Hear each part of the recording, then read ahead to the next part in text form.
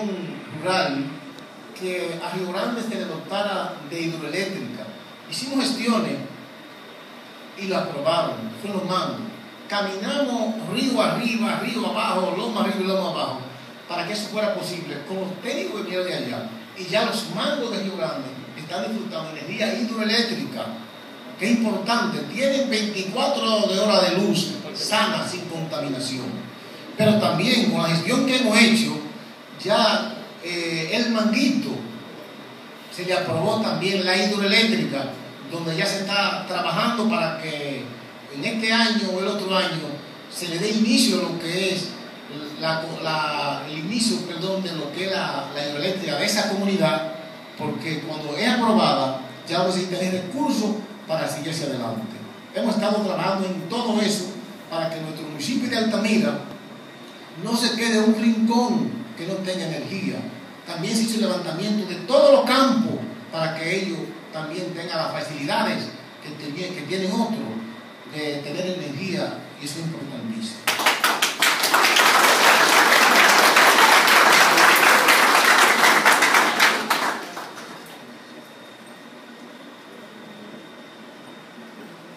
El inicio de la inicio de la construcción de la carretera quebrada Honda, Boca de Río Grande y Baurico arriba. También eh, eh, quebrada, eh, perdón, la que va de aquí, de los arroyos, que sale a Lajas. También esa carretera está en el mismo diseño donde va la de Palma Grande y otra. Que hicimos grandes gestiones con el gobierno anterior y lo hicimos en este y qué bueno que ya se está haciendo. Cumpliendo con los requisitos que establece la ley 176-07 sobre el presupuesto participativo, durante el periodo 2012-2013 realizamos 25 consultas comunitarias, saliendo beneficiadas iglesias, junta de vecinos, comité de agua, etcétera con la participación de 1.400 personas. 800 fueron mujeres y 606 hombres, para un 57% de sexo femenino y un 43% de masculino. Las principales demandas planteadas fueron construcción de obras, reparación de caminos, aporte a iglesia, comité por construcción de acueducto. En tal sentido fueron entregados Comité de Acueducto en Grande, 20 mil pesos. Comité de Acueducto Pozo Prieto, 25 mil pesos. Comité de Acueducto de los Serginos, 20 mil pesos. Iglesia de Grande, 10 mil pesos. Iglesia Católica Metodista Libre, 30 mil pesos.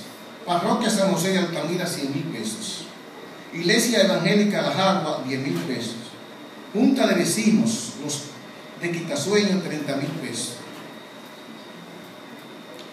Colegio Santo Domingo Sabio, 12 mil pesos. Terminación hidroeléctrica de los mangos, 20 mil pesos. Para un valor de 277 mil pesos. Obras públicas municipales. No es decir, es hacer. Es la frase que ha tomado este ayuntamiento como estandarte para responder a, las demandas requeridas por la población a través del Plan Municipal de Desarrollo. En tal sentido, en el periodo de agosto de 2012 a julio de 2013 hemos realizado lo siguiente.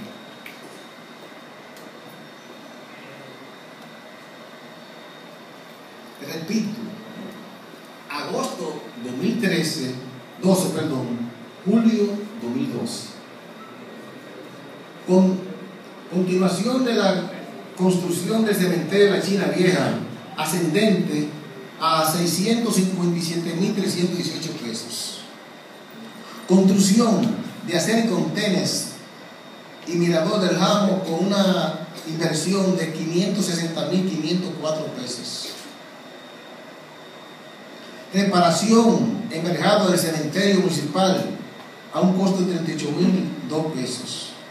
Construcción dos el Play Los Llanos ascendente a 127.200 pesos. Construcción del enverjado del cementerio de Babalico arriba a un costo de 67.300 pesos. remodelación de la acera y contenes de la ciudad a un costo de 533.579 pesos. Construcción del parque de recreo del COPEI a un valor de 95.990 pesos. Reparación del parque de recreo del Mamey ascendente a 124.514 pesos.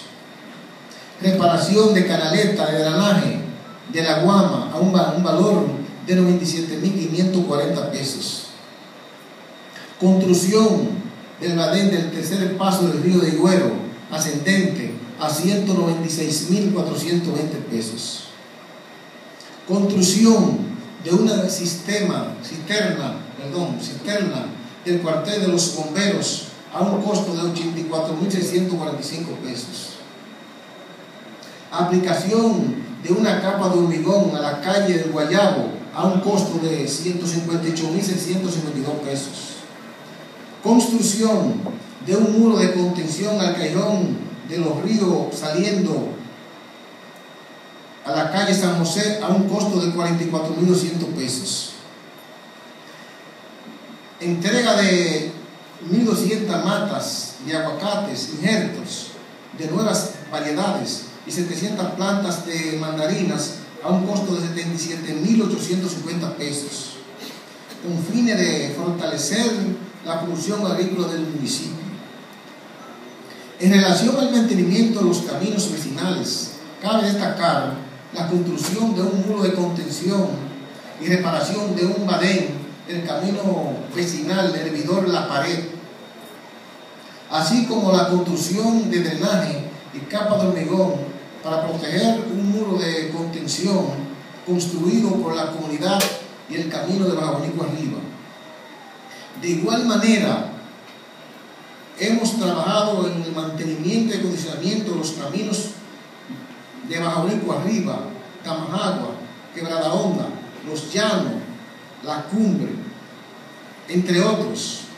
Analizamos que como resultado de nuestra gestión, el presidente Danilo Medina, hemos logrado el avance de los trabajos de la carretera Quebrada Honda, Boca de Río Grande, Lajas, Los Arroyos. Cabe señalar que a final del mes pasado recibimos una comisión del Ministerio de Obras Públicas a fin de buscar solución a los principales caminos regionales del municipio. Informe financiero.